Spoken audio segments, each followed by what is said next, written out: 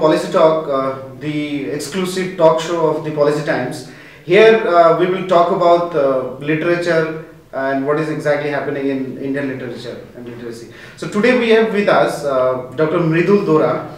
Uh, she's from Dehradun, but she's in Delhi for a couple of years, almost a decade now. Uh, she has recently uh, published a book. It's called "The Diasporic Consciousness: A Study of Salman Rushdie's Work." And it's quite interesting. We'll talk about the book a little later. And she's also on the verge of publishing her next collection of poetry. It's called Lakeer, a stern piece of art. We will talk about that also later in the conversation. Welcome, uh, Dr. Dora. Thank you. Thank you so much. So, to start off, uh, what was the inspiration behind writing? Uh, it's been quite a long time now. I was around 13 years old when I wrote my first poem and I, I always wanted to be a writer. I, I think I was in class 5 when I told my parents that I wanted to be a writer and but I, I never took it seriously. But gradually when I was 13 years old an incident happened in my life and I wrote my first poem. Uh, if you want I can narrate the event. Yes, yes please. so it was like in earlier days we had Doordarshan only and whatever was happening around was shown on TV itself. But and and we had no choice uh, apart from watching that which is being shown. So uh, I was in class eight as far as I remember, and uh, the TV was showing the live telecast of the cremation of our ex-president, Dr. Gyani Jail Singh So at such a tender age, I wasn't very sure what the cremation is all about, what was going all around. So I asked my mother what, what all was going around. So she just told me the concept of how a human body comes into uh, being and then when it decomposes then it is made up of five elements and then ultimately when the body decomposes it mingles back in those five elements. I was somehow inspired through that and I wrote my first poem that is entitled Panch Tattva. Brilliant. So it just started somehow. Can we uh, uh, hear some lines of the five tattva? Yeah, definitely. I have it with me, luckily. पाँच तत्व यह मानव शरीर मिट्टी का पुतला आज ध्वस्त हो गया मिट्टी में आकाश समाया आकाश के अंदर पानी मिल गया पानी में। श्वासें मिल गई वायु में, अग्नि भी कैसी जली अंगारों में। अहंकार बहुत था होता, इस देह की सुंदरता पर गर्व बहुत था होता। काम, क्रोध, मोह में फंसकर माया के भी वश में आया। नरक का खुद दरवाज़ा खोला, हंसकर चलकर उसमें आया। जब आग ने ग्रस्त किया तब क्षमा, दया तब त्याग, मनोबल याद आया। जो होती कुछ क्षमा मुझमें, करता मैं भी कुछ दया, विकारों का करके कुछ त्याग। गर्व को अग्नि के हवाले करता, मन को अपने काबू करता, इस सीख को ध्यान में रख के अपने कर्तव्य का पालन करता। जो आज आत्मा तृप्त होती मेरी, मुझमें भी कुछ गुण होता।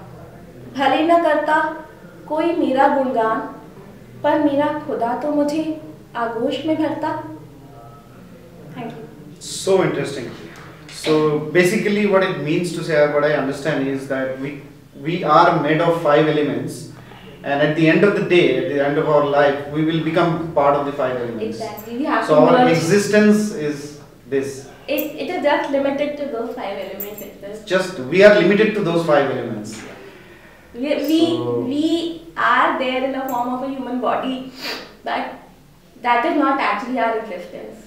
Our soul will depart and the human body will be of no use.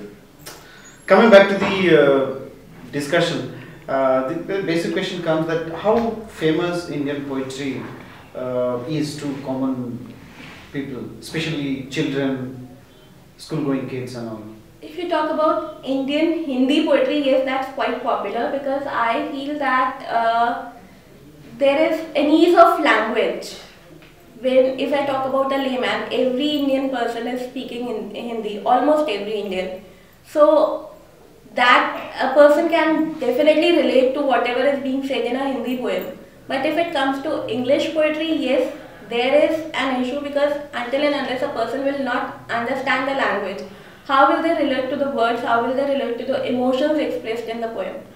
So it is a very big challenge and uh, I feel the authors should come down to the level of the layman in, in order to bring the poetry easily accessible and understandable to the readers.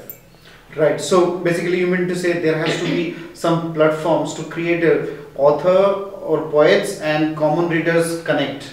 We need Yeah. more and more platforms we of need, that. We need platforms for that. Like uh, there is a company called uh, Daily Bibles, I think, and they are organizing literary festivals, poetry literary festivals every year. Hmm. So we, even we can have more uh, such platforms. platforms. Yeah. Now, talking about in this high tech age where kids are more busy with video games, more busy, you know, uh, having chats in Facebook, Twitter, LinkedIn, and all through their peers and friends, how are this changing in the literacy culture? Like with the rise of blogs and all, is it uh, degrading the standard of poetry and literacy? Uh, yes, to an extent, uh, because more the people will be involved in social media, more they will be like they won't get into reading. They won't go for books. Even if they go for, I don't think the, people are comfortable reading uh, those e-books. I don't find myself comfortable until I don't get the hard copy. Right, even same. So it's Because I, I, I just can't read on a laptop or a computer. it doesn't give that sense. It doesn't give the sense also. Plus, I don't know, but I can carry my book everywhere, but I cannot carry my laptop or computer anywhere Eh, or everywhere. I guess the laptop can be carried, but I can cannot just open it anytime. No, Hmm. so a hard copy needs to be there. I can if I, if I would be having a e-book, I would definitely want a printout of the book and then read the book. So, you have written uh, this. Your first work, in fact, was about diasporic consciousness and the work of Salman Rushdie's, Rushdie's work. What was the outcome, findings of that, and how do you see the diaspora? How are we able to connect diaspora in Indian literature? Diaspora, diaspora consciousness is basically about the immigrant experience of Salman Rushdie, and I feel whatever he has experienced in his life that is depicted in his works also, because he he has been out of India for so long, and uh, probably he did not get the acceptance in the foreign land. And that is what he always tries to portray in his works. So the immigrant experience is there, the migration, the dislocation, then there is cross-cultural difference. Plus, though I have not discussed the identity crisis or the cross, I have discussed identity crisis. I have not discussed the cross-cultural difference. I have brought out into a more beautiful form in the form of uh, cultural hybridity. That is what my book relates to. Plus, we have some allegorical aspects also. We have uh, political allegory, historical allegory, and mythological allegory. So, do you think uh, our society is yet not that open in inviting opinions and views of uh, authors in a highly intellectual way? Are we, can we say something We, like this? we can definitely, I don't think that We are yet not that open society. We are not yet that open, but I don't think that efforts have been made into this. Efforts. If, if we put in the efforts, definitely we can. Mhm. Very true. Very interesting. And uh, any other things you would like to discuss, ma'am? Any other message you would like to give to your readers, viewers? I would like to say that if you are a- even a little bit interested in reading, just pick up the books, pick up the hard copies rather, bring your heart out, relate to the emotions, and enjoy reading.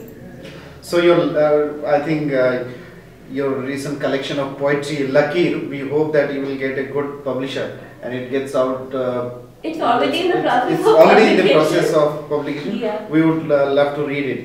And um, thank you. That was it. Uh, and conversation with Dr. Mridul Dora.